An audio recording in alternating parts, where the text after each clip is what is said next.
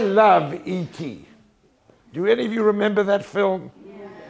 That little wonderful something from out of space who comes to Earth, and after everything he sees, he phones home and reports. I've been obsessed with the idea what is it that E.T. reports on after meeting Jews? Who are they? What are they? Why are they so different? How can they all be one and yet be so different? I've been bothered by that because in all of these various positions that Shoshana referred to, the lack of uniformity of the Jewish people from day to day becomes more and more evident. The Jews are no longer uniform. We were never uniform about how to Jew, but we were always uniform until the emancipation of what it meant to be a Jew. That does not exist today.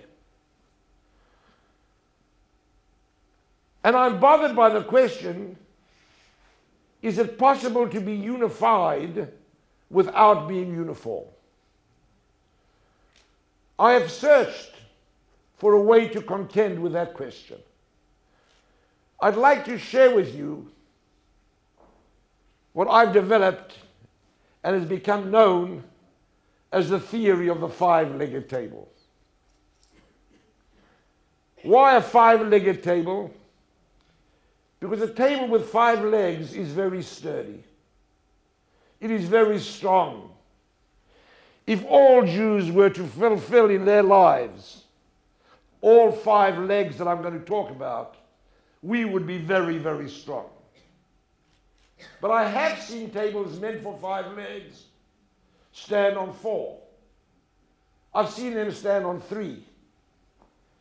On two, they tipple over. On one, they're not even a table.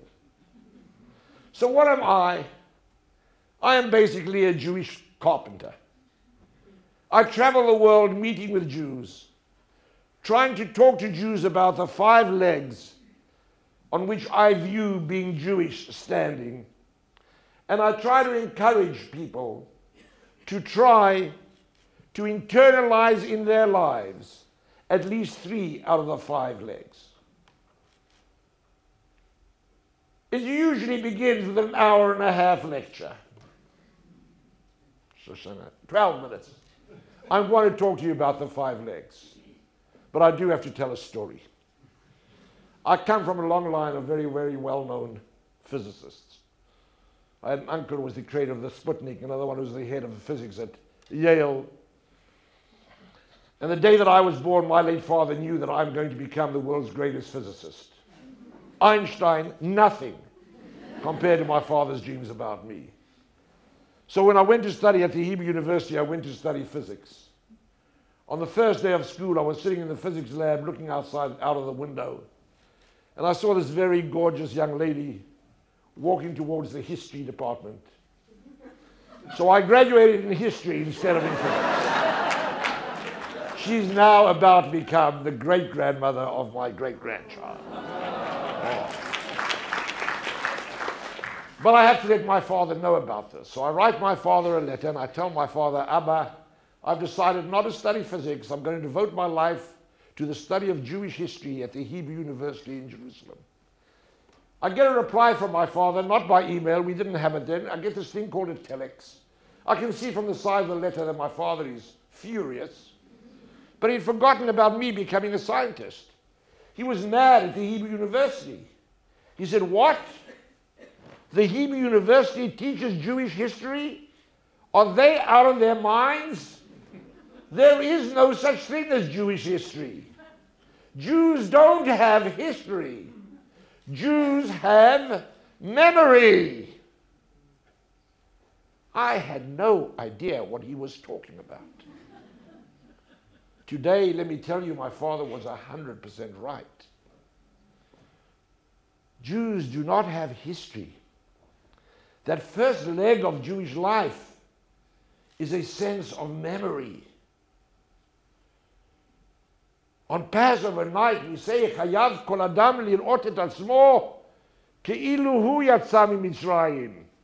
Each person must see himself as if they personally came out of Egypt. The verb that appears in our tradition more than any other verb is the verb liskor, zochor, zecher, zikaron, yiskor. Remember, remember, remember. We carry it to a phenomenal extreme. A young couple fall in love. They decide to spend their lives together. They get under the bridal canopy. What do they do? They break a glass. Why? In order to remember the destruction of Jerusalem. I've been in this world for a long time, my friends. I've never met a couple who spent the first night of their marriage worrying about the destruction of Jerusalem. but you can't begin anything Jewish. You can't build anything Jewish.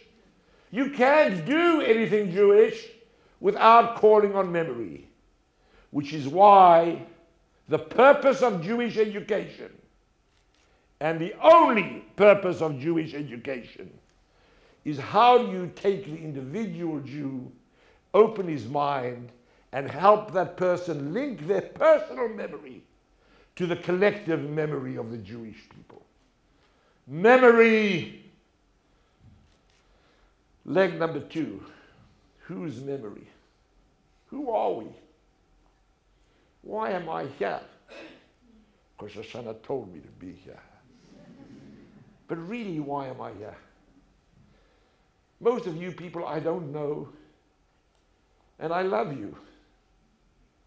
Maybe I love you because I don't know you. I don't know. but who are we? I always tell the story of this well known bank in New York called the Chase Manhattan Bank, a successful bank, although it's not a Jewish bank. The Chase Manhattan Bank has a slogan that every kid in the world in New York knows you have a friend at Chase Manhattan. Cost you a fortune, but you have a friend at Chase Manhattan. When Bank Discount of Israel opened up its first branch in New York, they looked for a slogan to attract customers.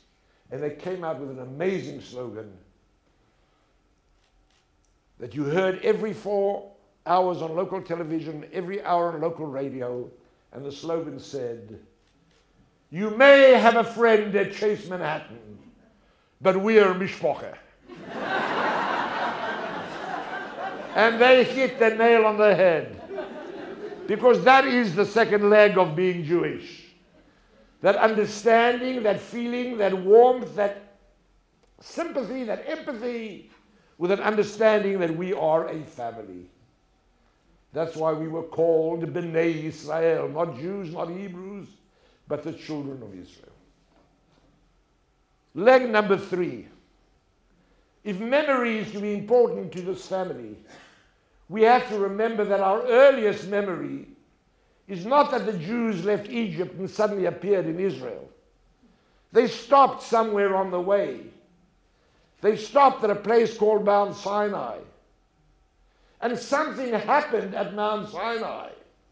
However, you interpret Mount Sinai, you can't ignore Mount Sinai. Because Mount Sinai is the place in which we printed our visiting card. We describe to the world who we are. We determine for ourselves how we'll behave, of what's important to us, what are the values that will guide us, how will we, in our own distinctive manner, apply to this family and its memory a world of values and a relationship with the Almighty. And leg number four. There's a 4A and a 4B. The land of Israel and the state of Israel. They are not the same thing. As you can tell from my accent, I was born in South Africa. South Africa is not only another continent, another country, it's a different hemisphere. When you have summer, they have winter. When you have spring, they have fall. But the amazing thing is that Jews in South Africa start to pray for rain on the last day of Sukkot. It's the middle of October. I don't know anybody in South Africa who wants rain in October. It's the wrong time of the year. And I used to, growing up, used to get very nervous. What would happen if God, for a change, answered a prayer? I didn't always look like this. I used to be a sportsman. I used to play rugby. I wanted to go and play. I, my friends are praying for rain. I went to my father and said, Abba, why are they praying for rain now? My father looks at me and he says to me, Avram, our rain doesn't fall in South Africa.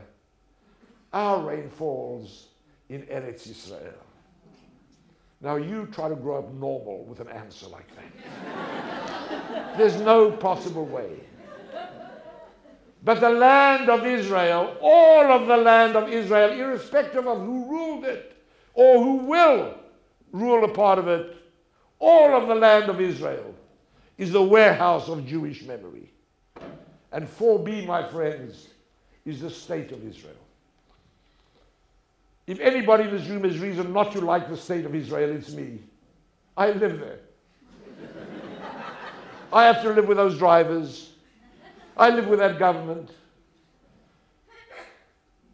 I love the state of Israel.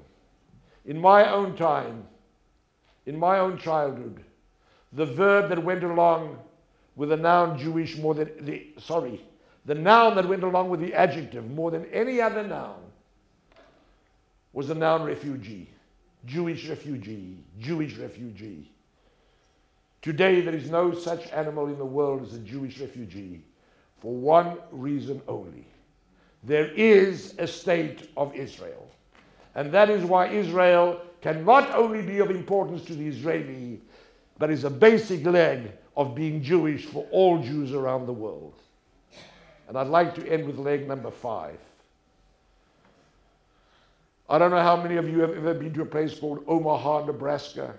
I never knew that there was a state in America called Nebraska. I never knew there was a city named after my grandmother, Omaha.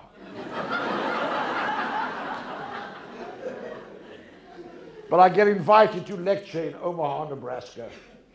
I arrive on a Sunday morning. They say to me that my lecture is in the evening. Would I like to visit their Sunday school? I go to the Sunday school. I walk into a classroom.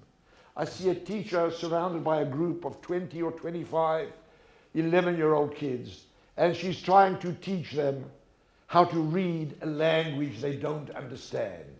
Do you know what I'm talking about? I looked at the faces of these kids. I saw the suffering of my people. I said to the teacher, Why are you doing this? She says to me, I've only got a year or two to their bar bar mitzvah, bar or bat mitzvah, and they have to learn how to pray in Hebrew. I called over one of the kids. I'll never forget him because of his beautiful Hebrew name, Timothy. I said, Timothy, why do you have to pray in Hebrew? He said to me, because God does not understand English. My God, President Bush almost understood English. We pray in Hebrew because all peoples do important things in the language of their culture. Because language conveys cultural concepts that are central to our language. I want to end with one example. All of you must have heard of the phrase to fall in love. I don't know where we get the chutzpah to use that language. You do not fall in love, you rise in love. You don't find this phrase in a Buddhist language or in a Jewish language, only in Christian languages. Because it does come from the concept of the cardinal sin of man, the first failing. How do you say to fall in love in Hebrew? Lehit ahev. It's a unique grammatical form. It's in hitpael. It's reflexive. It's give and take. It's a different concept of love. We know that through our language. Memory, family, Mount Sinai, the land and the state of Israel, and the Hebrew language. If every Jew would find a way of internalizing at least three out of those five legs in their lives, we won't be uniform, but we will always be unified. Thank you.